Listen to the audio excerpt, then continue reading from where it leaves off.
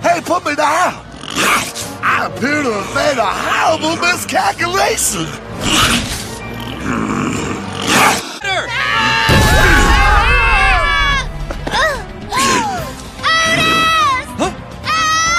His catapult which. ah, this is much deeper than it looked from the outside! Ooh, Otis? Abby, you're alive! Not for much longer. That stomach acid looks pretty gnarly. I'm getting us out of here. Try to grab my. Perfect Channel 8 News. You crazy lovebirds got the ideas on how we could get out of here? I always carry a spare road flare in case the news van breaks down.